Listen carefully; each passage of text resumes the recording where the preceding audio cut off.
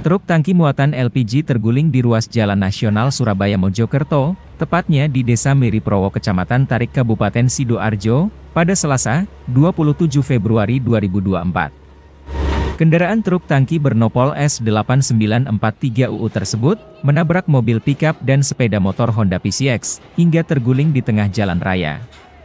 Akibat kejadian itu korban mengalami luka-luka, dan dievakuasi ke Rumah Sakit Citra Medika Kabupaten Sidoarjo.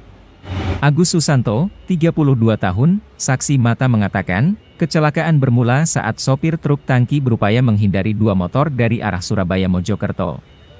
Dua motor Honda CBR 250 dan Vario, ugal-ugalan beradu kencang hingga memakan marka jalan.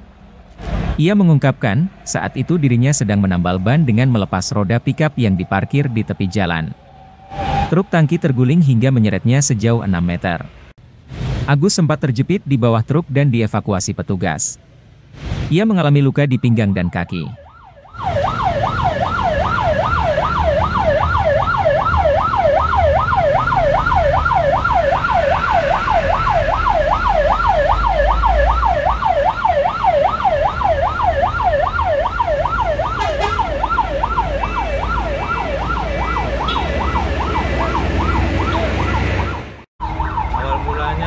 Vario sama CBR mas Iya, dari arah mana? dari arah Surabaya ke Mojokerto Oh, mas. itu gimana?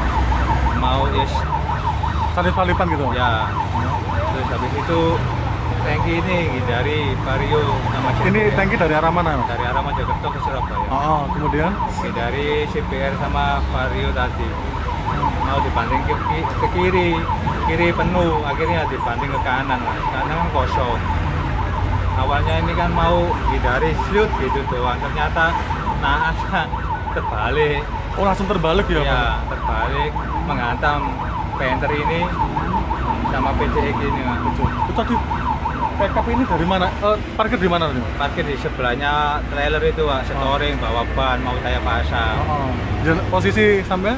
posisi saya mau pasang ban Oh. di kanan kontainer ini pak akhirnya saya terjepit di bawah di bawahnya tangki itu pak Oh, sempat terlebih sampai tadi. ya tapi alhamdulillah nggak apa-apa pak. Terseret 5-6 meteran lah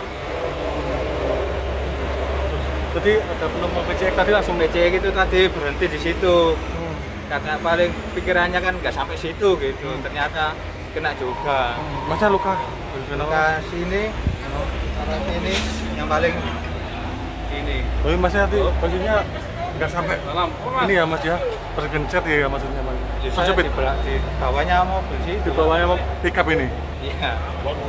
Terus ditarik sama teman saya tadi. Yang supir tangkinya ke mana mas? Ya supir tangkinya dibawa ke rumah sakit EMA lu luka-luka semuanya mas? Ya ya luka semua. Tapi luka alhamdulillah luka ringan nggak ada yang sampai parah. Berarti yang Vario sama CBR nya udah langsung kabur ini mas? Ya kabur. Yang paling parah ya Bu Dewi ini. Kena jantung serangan jantung. Dewi. kenapa ya ya dibawa. Kan kaget ini oh saking kencangnya mas ya? dibawa dibawa ke rumah sakit. Mana itu? Ciko Diko. Mas namanya siapa? Agus Susanto Mas. Usianya berapa mas? 32 sebagai tambal ban. Ya yang punya tanggapan warga mana? Warga Barong Bento Sidoarjo. Download Tribun X sekarang. Menghadirkan lokal menjadi Indonesia.